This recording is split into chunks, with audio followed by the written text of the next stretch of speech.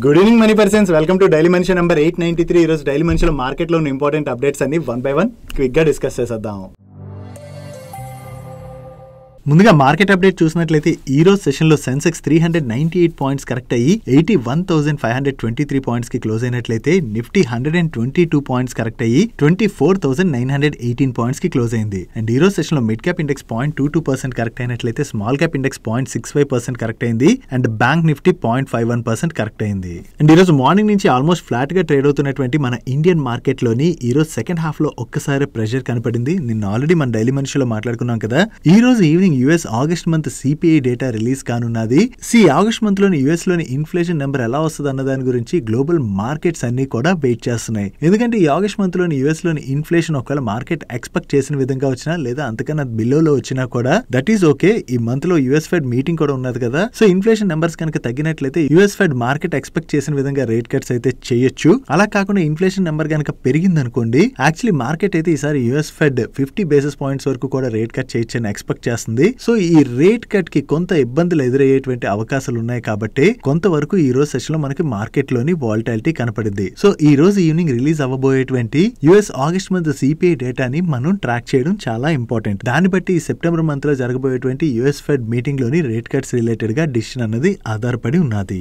Next ఈ రోజు సెషన్లో మార్నింగ్ నుంచి కూడా టాటా మోటార్ స్టాక్లో చాలా ప్రెషర్ కనపడింది కదా. చివరికి ఈ రోజు సెషన్లో స్టాక్ అయితే నియర్లీ సిక్స్ పర్సెంట్ కరెక్ట్ అయింది. ఈ రోజు సెషన్లో టాటా మోటార్ స్టాక్లో ఇంత ప్రెషర్ కనపడడానికి రీజన్ యూబీఎస్ వాళ్ళు టాటా మోటార్స్ వాళ్ళు రిలేటెడ్గా ఒక రిపోర్ట్ని రిలీజ్ చేసి నిన్నటి క్లోజింగ్ ప్రైస్తో కంపేర్ చేస్తే టాటా మోటార్స్ అక్కడి నుంచి ట్వంటీ పర్సెంట్ కరెక్ట్ అవ్వచ్చు అని చెప్పి టాటా మోటార్స్కి సెల్ రేటింగ్ ఇచ్చి టార్గెట్ ప్రైస్ని ఎయిట్ హండ్రెడ్ ట్వంటీ ఫైవ్ రూపీస్గా ఫిక్స్ చేయడం జరిగింది. వీళ్ళు టాటా మోటార్స్కి సెల్ రేటింగ్ ఇవ్వడానికి చెప్తున్నటువంటి రీజన్స్ ఏంటంటే వీళ్ళ జాగ్వార్ ల్యాండ్ రోవర్ బిజినెస్ ఉన్నది కదా ఈ జాగ్వార్ ల్యాండ్ రోవర్లోని వీళ్ళ ప్రీమియం మోడల్స్ అయినటువంటి Defender Range Rover and Range Rover Sport వీటి యొక్క సేల్స్ అయితే బాగా జరిగాయి అండ్ వీటి యావరేజ్ సెల్లింగ్ ప్రైస్ కూడా ప్రెసెంట్ హైలో ఉన్నది. కానీ ఇప్పుడు ఈ మోడల్స్ రిలేటెడ్గా ఏదైతే ప్రీవియస్ స్ట్రాంగ్ డిమాండ్ ఉన్నదో ఆ డిమాండ్ అయితే స్లో డౌన్ అవుతున్నదని. సో డిమాండ్ తగ్గుతుండడం వలన ఈ మోడల్ సేల్స్ పెంచడానికి వీళ్ళు ఈ మోడల్స్ పైన అడిషనల్ డిస్కౌంట్స్ అయితే అనౌన్స్ చేసేటువంటి అవకాశం ఉన్నదని. సో ఇలా డిస్కౌంట్లు గనక అనౌన్స్ చేసినట్లయితే వీళ్ళ యావరేజ్ సెల్లింగ్ ప్రైస్ తగ్గుతుంది. అండ్ అంతేకాకుండా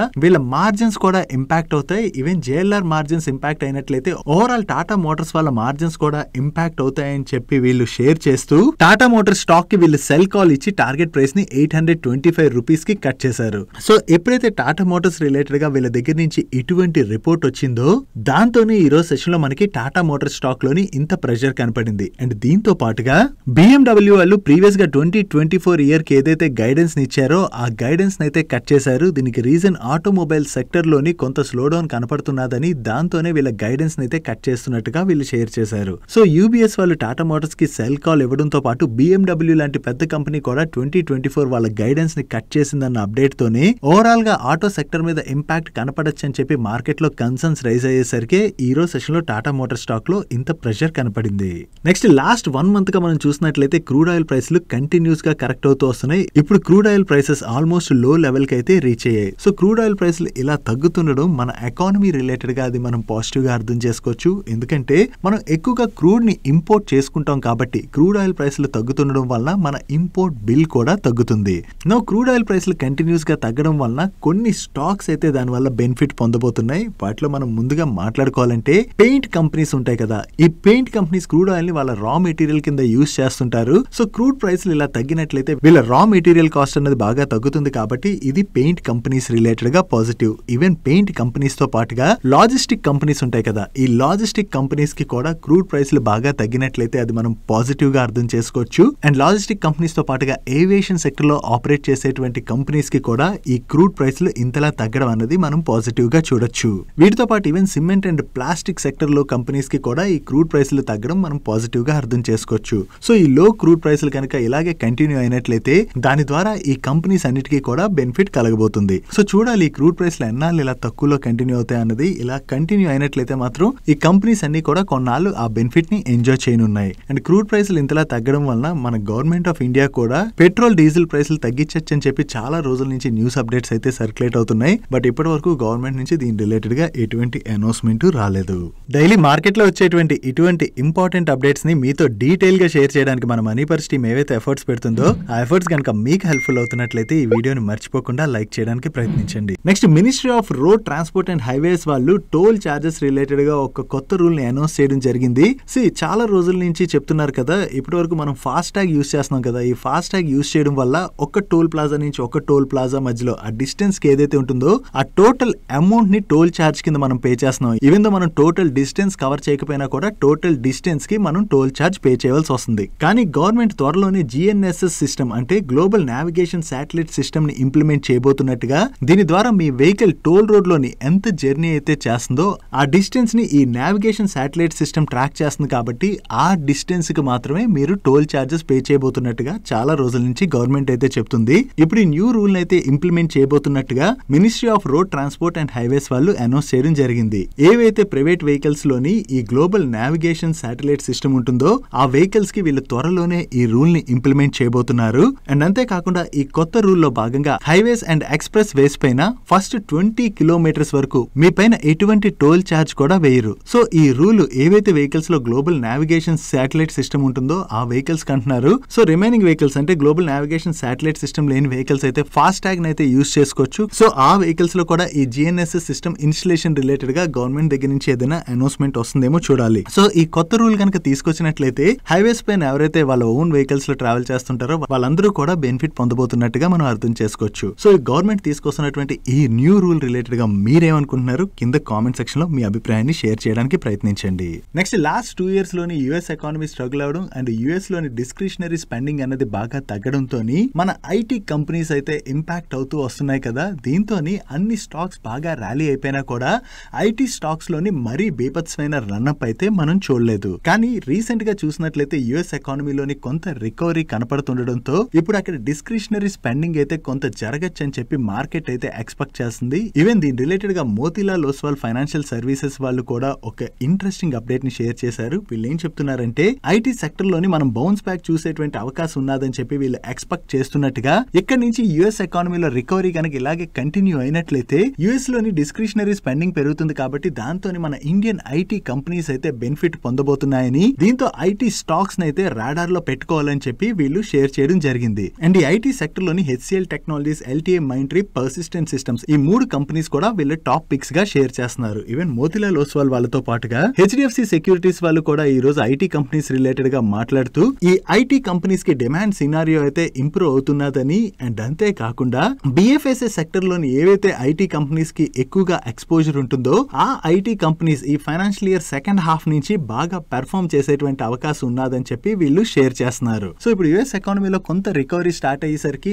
ఐటీ కంపెనీస్ రిలేటెడ్గా అయితే మనకి పాజిటివ్ రిపోర్ట్స్ అయితే వస్తున్నాయి. సో ఐటీ స్టాక్స్ అయితే మీ వాచ్ లిస్ట్లో పెట్టుకోండి. నెక్స్ట్ యుఎస్ ఎకానమీ అంటే యుఎస్లో ఇన్ఫ్లేషన్ ఎలా మూవ్ అవుతున్నది అండ్ ఫెడ్ రేట్ కట్స్ ఇవన్నీ మనం ఎలాగా డిస్కస్ చేసుకుంటాం ఉంటాం కాబట్టి సో యుఎస్ ఎకానమీలో రికవరీ కనపడుతున్నట్లయితే స్లో స్లోగా ఈ ఐటీ స్టాక్స్లోని అంటే స్టాగర్డ్ మేనర్లో ఐటీ స్టాక్స్లోని మనం ఇన్వెస్ట్ చేసుకోవడం అన్నది బెటర్. నెక్స్ట్ మనకి రోజులోని ఎన్నో మార్కెటింగ్ కాల్స్ వస్తుంటాయి కదా మీకు ఇన్సూరెన్స్ కావాలా లేదా మీకు ట్రేడింగ్ టిప్స్ కావాలా లేదా మీరు అపార్ట్మెంట్ కొందాం అనుకుంటున్నారో ఇలా రకరకాల కాల్స్ అయితే వస్తుంటాయి కదా. సో మన రిలేటెడ్గా డేటా అంటే మన మొబైల్ నెంబర్ మన ఇన్ఫర్మేషన్ ఇవన్నీ కూడా ఎక్కడో అక్కడి నుంచి లీక్ అవ్వకుండా వీళ్ళు మనకి అసలు ఎలా కాల్ చేయగలరు? చేయలేరు కదా. సో ఈ డేటా లీకేజ్ అన్నది ఎక్కడి నుంచి జరుగుతుందంటే ప్రతి చోట నుంచి కూడా ఈ డేటా లీకేజ్ జరుగుతుందని చెప్పి ఎకనామిక్ టైమ్స్ వాళ్ళు కండక్ట్ చేసినటువంటి ఒక ఇన్వెస్టిగేషన్లో బయటపడింది. ఏదర్ మీరు కార్ ఇన్సూరెన్స్ తీసుకున్నా బ్రాడ్బ్యాండ్ కనెక్షన్ తీసుకున్నా ఆర్ ఫ్లైట్ టికెట్ బుక్ చేసుకున్నా ప్రతి చోట కూడా మన డేటా షేర్ చేస్తాం కదా. ఈ డేటాని ఆ ప్లాట్ఫామ్స్ అయితే కాల్ సెంటర్స్ బీపీఓస్ టెలి మార్కెటర్స్కి అయితే సేల్ చేసేస్తున్నారని. సో ఈ విధంగా డేటా లీకేజ్ అన్నది ప్రతి స్టెప్లో కూడా జరుగుతున్నట్టుగా వీళ్ళు షేర్ చేస్తున్నారు. ఇక్కడ ఒక యూజ్ కేస్ను కూడా వీళ్ళు షేర్ చేశారు. రిషబ్ శుక్లా ఇక్కడ ఒక ఎగ్జాంపుల్గా పేరు ఇచ్చారు. అతను టెలి మార్కెటింగ్ కంపెనీలో పనిచేస్తున్నాడు. సో ఈ మార్కెటింగ్ కంపెనీలో పనిచేస్తున్నటువంటి వ్యక్తి దగ్గర లీడ్స్ ఉంటాయి కదా ఆల్రెడీ ఆ కంపెనీస్ అది ఆ లీడ్స్ని అతను కరెక్ట్గా ఫాలో అప్ చేయడంతో అతనికి ఫస్ట్ మంత్లో బాగా ఇన్సెంటివ్ వచ్చిందంట. కానీ లీడ్స్ డ్రై అప్ అయిపోవడంతో ఆ ఇన్సెంటివ్ రాకపోవడంతో ఇన్సెంటివ్కి అలవాటు పడినటువంటి వ్యక్తి నోయిడా దగ్గరలో ఉన్నటువంటి వేరియస్ అపార్ట్మెంట్స్కి వెళ్ళి అక్కడ కొత్తగా అపార్ట్మెంట్స్లోకి వెళ్ళిన వాళ్ళు రిజిస్టర్స్లోని వాళ్ళ డీటెయిల్స్ని మెన్షన్ చేస్తారు కదా. సో సెక్యూరిటీ గార్డ్ కూడా అతను డబ్బులు ఇచ్చి ఆ డేటాని కలెక్ట్ చేశాడంట. ఆ కలెక్ట్ చేసినటువంటి డేటా డేటాని బీపీఓస్కి కాల్ సెంటర్స్కి టెలిమార్కెటింగ్ కంపెనీస్కి అమ్మడం ద్వారా అతను డబ్బులు సంపాదించుకున్నాడు. సో ఇది జస్ట్ ఒక ఎగ్జాంపుల్ మాత్రమే. సో ఇలా మనం మన డేటాని ఎక్కడ షేర్ చేస్తున్నా కూడా డేటా లీక్ అయిపోవడం వల్ల ఇక్కడ ఏం చేస్తున్నా కూడా మనల్ని ఎవరో ఒకళ్ళు ట్రాక్ చేస్తున్నట్టుగా వీళ్ళైతే షేర్ చేస్తున్నారు. సో ఈ డేటా లీకేజ్ మనం అరికట్టగలమా అంటే మన చేతుల్లో అది లేదు. గవర్నమెంట్ ఈ డేటా లీకేజ్ రిలేటెడ్గా కొన్ని స్ట్రిక్ట్ రూల్స్ అయితే ఇంప్లిమెంట్ చేయాలి. ఎందుకంటే మనం ఆ వెబ్సైట్స్ని నమ్మే కదా మన డీటెయిల్స్ అన్ని ఇస్తాం. మన డీటెయిల్స్ ఇచ్చిన తర్వాత ఆ వెబ్సైట్స్ మన డేటాని బయటికి అమ్మేస్తుంటే ఈ విధంగా మనం ఫ్యూచర్లో కూడా చాలా ఇబ్బంది ఫేస్ చేసేటువంటి అవకాశం ఉంది. సో గవర్నమెంట్స్ ఇప్పటికైనా దీని రిలేటెడ్గా కొంత వర్క్ చేసి వీటిని కంట్రోల్ చేయడానికి అయితే ప్రయత్నించాలి. నెక్స్ట్ రిలయన్స్ ఇండస్ట్రీస్ వాళ్ళు వీళ్ళ రిలయన్స్ రీటైల్ బిజినెస్ని కంటిన్యూస్గా ఎక్స్పాండ్ చేసుకోవడంలో భాగంగా వేరియస్ బ్రాండ్స్తో టైఅప్ అవడం అండ్ అలాగే వేరియస్ ఎక్విజిషన్స్ చేసుకుంటూ వస్తున్నారు కదా. ఇప్పుడు దీనిలో భాగంగా డెల్టా గలీల్ అనేటువంటి కంపెనీతో వీళ్ళు స్ట్రాటజిక్ పార్ట్నర్షిప్లోకి ఎంటర్ అయ్యారు. ఈ డెల్టా గలీల్ అనేటువంటి company women men and children యొక్క ఆప్రిల్ ప్రొడక్ట్ ప్రొడక్ట్స్ని మ్యానుఫ్యాక్చర్ చేస్తూ ఉంటుంది. నో వీళ్ళిద్దరు కొలాబరేషన్లో భాగంగా ఒక జాయింట్ వెంచర్ని ఫామ్ చేసి మన ఇండియాలోని ఈ డెల్టా గలీల్ వాళ్ళ ఆప్రిల్ బ్రాండ్స్ని ఎక్స్పాండ్ చేయడం కోసం అని చెప్పి ఒక ఇన్నోవేటివ్ ప్లాట్ఫామ్ను కూడా ఎస్టాబ్లిష్ చేయబోతున్నట్టుగా దీని ద్వారా మన ఇండియన్ ఆప్రిల్ మార్కెట్లో ఉన్నటువంటి ఆపర్చునిటీని అయితే క్యాటర్ చేయబోతున్నట్టుగా వీళ్ళు అనౌన్స్ చేయడం జరిగింది. ఈ విధంగా వేరియస్ బ్రాండ్స్ తోని టైఅప్ అవడం ఇలా చేయడం ద్వారా రిలయన్స్ ఇండస్ట్రీస్ వాళ్ళు అయితే రిలయన్స్ రీటైల్ బిజినెస్ని స్ట్రాంగ్గా ఎక్స్పాండ్ చేయడానికి ప్రయత్నిస్తున్నారు. ఇది రిలయన్స్ వాళ్ళ రిలేటెడ్గా మనం పాజిటివ్గా అర్థం చేసుకోవచ్చు. Next solar EPC services offer చేసేటువంటి జెన్సాల్ ఇంజనీరింగ్ వాళ్ళు గ్రీన్ హైడ్రోజన్ ఇన్ఫ్రా డెవలపర్ అయినటువంటి మ్యాట్రిక్స్ గ్యాస్ డెవలపర్స్ వాళ్ళతోని కొలాబరేషన్లో భాగంగా ఒక ప్రాజెక్ట్ని విన్ అయ్యారు. దీనికి కాను వీళ్ళు మహారాష్ట్ర పూణేలోని ఫస్ట్ గ్రీన్ హైడ్రోజన్ వ్యాలీ ప్రాజెక్ట్ని సెటప్ చేయనున్నారు. అండ్ ఈ ప్రాజెక్ట్ని వీళ్ళు బిల్డ్ ఓన్ అండ్ ఆపరేటెడ్ బేసిస్లోని సెటప్ చేసి దీని నుంచి గ్రీన్ హైడ్రోజన్ని స్పెషాలిటీ కెమికల్ సెక్టర్కి వీళ్ళు ట్వంటీ ఇయర్స్ పాటు సప్లై చేయవలసి ఉన్నది. కొత్తగా ఈ కాంట్రాక్ట్ ఏదైతే విన్నారో ఇది జెన్సాల్ ఇంజనీరింగ్ వాళ్ళ రిలేటెడ్గా మనం పాజిటివ్గా అర్థం చేసుకోవచ్చు. నెక్స్ట్ లైట్నింగ్ ఎక్విప్మెంట్ మ్యానుఫ్యాక్చర్ చేసేటువంటి ఫేమ్ ఇండస్ట్రీస్ వాళ్ళకి చెందిన హర్యానా సోనిపేట్ మ్యానుఫ్యాక్చరింగ్ ప్లాంట్లోని ట్వంటీ ట్వంటీ త్రీ ఇయర్లో ఒక ఫైర్ యాక్సిడెంట్ జరిగింది కదా. ఈ ఫైర్ యాక్సిడెంట్ జరిగినప్పుడు జనరల్లీ మనకి మ్యానుఫ్యాక్చరింగ్ ప్లాంట్స్లో ఉన్నటువంటి ఎక్విప్మెంట్స్ అవి దెబ్బతింటాయి కదా. సో ఈ ఎక్విప్మెంట్స్ అన్నిటికీ కూడా వీళ్ళకి ఎడిక్వేట్ ఇన్సూరెన్స్ ఉన్నదని అండ్ ఆ ఇన్సూరెన్స్ క్లెయిమ్ కూడా చేసినట్టుగా ప్రీవియస్ గానే వీళ్ళు అనౌన్స్ చేశారు. దీనిలో భాగంగా వీళ్ళు టోటల్గా హండ్రెడ్ అండ్ ట్వెల్వ్ క్రోర్స్కి ఇన్సూరెన్స్ క్లెయిమ్ చేసినట్లయితే ఇన్స్టాల్మెంట్ పేమెంట్గా ఇప్పుడు థర్టీ క్రోర్స్ అయితే వీళ్ళు రిసీవ్ చేసుకున్నారు. అండ్ ఫైనల్ అసెస్మెంట్ క్లెయిమ్ అయితే ప్రాసెస్లో ఉన్నట్టుగా వీళ్ళు మేనేజ్మెంట్ అయితే చెప్తుంది. సో ఇన్సూరెన్స్ క్లెయిమ్ అయితే వీళ్ళు రిసీవ్ చేసుకుంటున్నారు కాబట్టి ఇది ఫేమ్ ఇండస్ట్రీస్ వాళ్ళ రిలేటెడ్గా positive next defence aerospace సెక్టర్లోని radio frequency and microwave systems కోసం సబ్ సిస్టమ్స్ని డెవలప్ చేసేటువంటి ఆస్ట్రా మైక్రోవేవ్ ప్రొడక్ట్స్ వాళ్ళు అనదర్ లిస్టెడ్ కంపెనీ అయినటువంటి ప్రీమియర్ ఎక్స్ప్లోజివ్స్ వాళ్ళతో ఒక ఎంఓయూ సైన్ చేశారు. ఈ ఎంఓయూలో భాగంగా వీళ్ళిద్దరూ కలిసి వీళ్ళకున్నటువంటి టెక్నికల్ క్యాపబిలిటీస్ అవి యూస్ చేసుకోవడం ద్వారా మల్టిపుల్ ప్రొడక్ట్స్ని డెవలప్ చేసి సెల్ చేయబోతున్నట్టుగా అనౌన్స్ చేయడం జరిగింది. సో వీళ్ళిద్దరూ కలిసి కొత్త ప్రొడక్ట్స్ని డెవలప్ చేసి ఆ ప్రొడక్ట్స్కి కనుక మార్కెట్లో మంచి డిమాండ్ కనుక వచ్చింది అనుకోండి అది రెండు కంపెనీస్ రిలేటెడ్గా పాజిటివ్ కానుంది.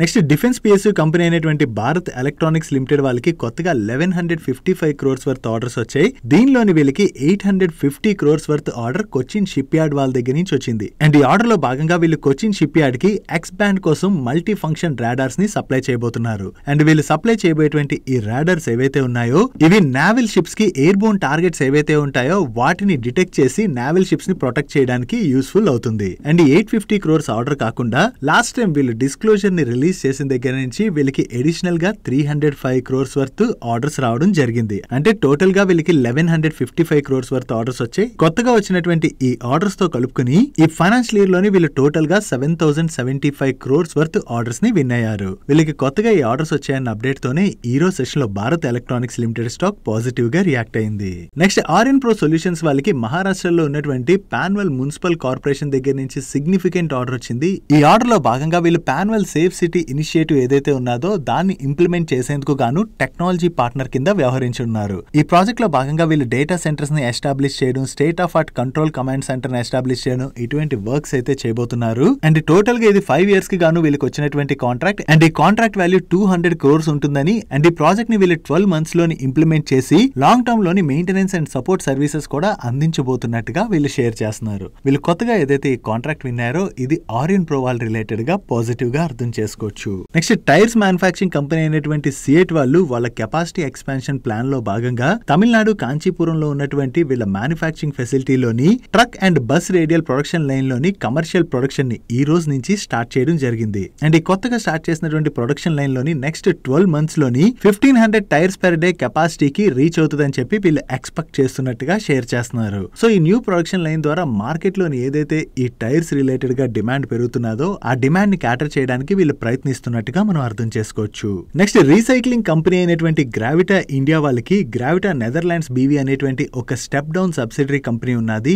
ఈ సబ్సిడరీ కంపెనీ ఇప్పుడు యూరోప్ రొమానియాలో ఉన్నటువంటి ఒక వేస్ట్ టైర్ రీసైక్లింగ్ ప్లాంట్ని అక్వైర్ చేసేందుకు గాను MOU లోకి ఎంటర్ అవడం జరిగింది. అండ్ ఈ వేస్ట్ టైర్ రీసైక్లింగ్ ప్లాంట్ యొక్క కెపాసిటీ టోటల్గా సెవెంటీన్ థౌసండ్ ఎంటీపీఏ అండ్ దీన్ని అక్వైర్ చేయడం ద్వారా యూరప్లోని ఇది వీళ్ళకి ఫస్ట్ రీసైక్లింగ్ ఫెసిలిటీగా మారబోతుంది. అండ్ దీన్ని అక్వైర్ చేయడానికి వీళ్ళు ఒక ఎస్పీవీని ఫామ్ చేసి ఈ ఈ లోని వీళ్ళ సబ్సిడరీ కంపెనీ ఎయిటీ పర్సెంట్ స్టేక్ని హోల్డ్ చేయబోతున్నట్లయితే రిమైనింగ్ స్టేక్ని రొమానియాకి చెందినటువంటి అదర్ పార్ట్నర్స్ హోల్డ్ చేయబోతున్నారు. టోటల్గా ఈ ఎక్విజిషన్కి ఫార్టీ క్రోర్స్ వరకు వీళ్ళు స్పెండ్ చేయబోతున్నారు. దీనిలోని గ్రావిటా వాళ్ళ subsidiary company thirty two crores invest చేయనుంది. యూరోపియన్ మార్కెట్లోని వీళ్ళ రీసైక్లింగ్ బిజినెస్ ఆపరేషన్స్ని ఎక్స్పాండ్ చేయడం ప్లాన్లో భాగంగానే ఈ ఎక్విజిషన్ అయితే చేస్తున్నట్టుగా వీళ్ళ మేనేజ్మెంట్ చెప్తుంది. సో ఓవరాల్గా ఈ రీసైక్లింగ్ ప్లాంట్ని అక్వైర్ చేయడం ద్వారా యూరోప్లో వీళ్ళ కెపాసిటీస్ అయితే ఎన్హాన్స్ అవబోతున్నాయి కదా. ఇది గ్రావిటా ఇండియా వాళ్ళ రిలేటెడ్ గా మనం పాజిటివ్గా అర్థం చేసుకోవచ్చు. నెక్స్ట్ రైల్వే ఎలక్ట్రిఫికేషన్ ప్రాజెక్ట్స్ చేసేటువంటి బీసీపీఎల్ రైల్వే ఇన్ఫ్రాస్ట్రక్చర్ లిమిటెడ్ వాళ్ళకి seventy one crores worth order వచ్చింది. ఈ ఆర్డర్లో భాగంగా వీళ్ళు ఆర్వీఎన్ఎల్ అండర్లోని Kharagpur Bhadrak సెక్షన్లోని electric traction system project upgradation works ఏవైతే ఉన్నాయో ఆ వర్క్స్ అయితే వీళ్ళు చేయనున్నారు. ఈ company present hundred and sixty five crores market క్యాప్లో trade అవుతున్నటువంటి కంపెనీ ఈ hundred and sixty five market క్యాప్లో ఉన్నటువంటి కంపెనీకి seventy one crores worth order వచ్చిందంటే ఇది వీళ్ళకి పెద్ద ఆర్డర్ కదా. సో దీంతోనే ఈ రోజు సెషన్లో ఈ బీసీపీఎల్ రైల్వే ఇన్ఫ్రాస్ట్రక్చర్ స్టాక్ పాజిటివ్గా రియాక్ట్ అయింది. నెక్స్ట్ ఫుట్వేర్ కంపెనీ అయినటువంటి కాదిం వాళ్ళు పూమా వాళ్ళతోని కొలాబరేషన్లోకి ఎంటర్ అయ్యారు. ఈ కొలాబరేషన్లో భాగంగా పూమా వాళ్ళ సాక్స్ అండ్ పూమా ప్రొడక్ట్స్ ఉంటాయి కదా వీటిని ఇండియాలో ఉన్నటువంటి కాదిం వాళ్ళ రీటైల్ అవుట్లెట్స్లోని సెల్ చేయబోతున్నట్టుగా వీళ్ళు అనౌన్స్ చేయడం జరిగింది.